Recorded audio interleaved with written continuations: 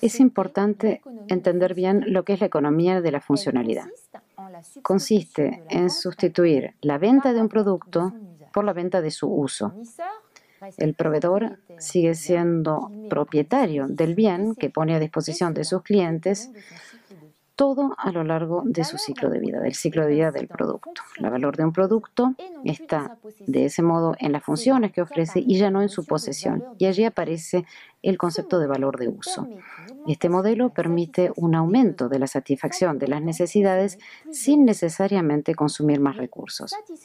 Pero satisfacer más necesidades con menos recursos, ¿no es contradictorio? Para nada, puesto que se trata de consumir de otra manera. Por ejemplo, para las gafas, el alquiler de unas gafas permite cambiar tantas veces como uno quiera de gafas sin necesariamente comprarlas. Y lo mismo para un teléfono móvil, porque así uno puede tener el último modelo y ya no tener averías. En el caso de la movilidad, uno puede desplazarse con un sistema de alquiler de eh, bicicletas por hora sin necesariamente poseer una bici. El cuestionamiento de la posesión de un producto no va a ser un obstáculo para el crecimiento, es otro modo de desarrollo para ahorrar nuestros recursos naturales que no son inagotables, mm, puesto que además somos cada vez más numerosos. La economía de la funcionalidad reposa en una serie de principios. En el marco de un estudio realizado por la red ECO-SD, donde se reúnen investigadores e industriales en torno al ecodiseño de sistemas sostenibles, se han identificado seis principios de la economía de la funcionalidad. La creación o la mejora de los valores de uso, la monetización del acceso al valor de uso, es decir, el hecho de evaluarlo, la propuesta de una solución adecuada a las necesidades del cliente, la producción en red de actores, como lo veremos más tarde, el concepto de sector, la implicación de una reconversión del sector industrial y la compatibilidad con un menor impacto ambiental y mayores beneficios sociales. Así pues, podemos preguntarnos lo siguiente. ¿El modelo es fácil de implementar? El mercado lo percibe favorablemente, pero su puesta en marcha implica grandes cambios de organización podemos identificar varios tipos de frenos. A nivel de los clientes, la comprensión de los retos de la economía, de la funcionalidad, es difícil y requiere una verdadera educación.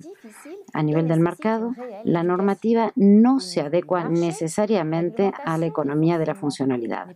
Hoy, el productor de un bien es responsable del mismo desde su diseño hasta el final de vida.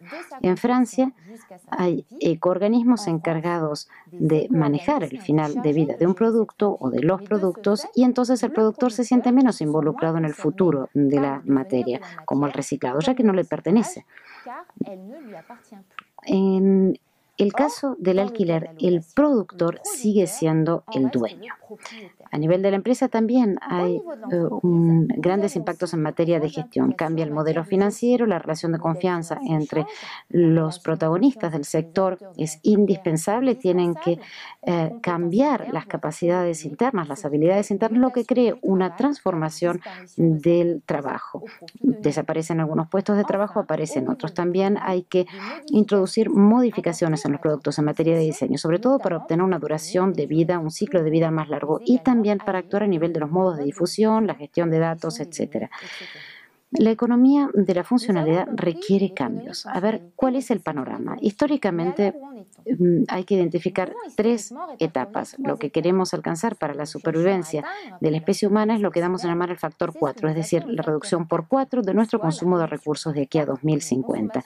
En los años 90, las primeras acciones se desarrollaron en las plantas de producción con, eh, por ejemplo, el desarrollo de sistemas de gestión medioambiental, entre ellos la norma ISO 14001. El impacto se redujo en pequeño porcentaje y luego en, la década del 2000 las medidas se concentraron en el diseño de los, de los productos, ya que en esa fase se define el 80% del impacto. Hoy, para alcanzar el factor 4, hay que concentrar los esfuerzos en la totalidad del sistema asociado a los productos, es decir, todo lo que contribuye al buen funcionamiento del servicio. Hombres, máquinas, servidores informáticos.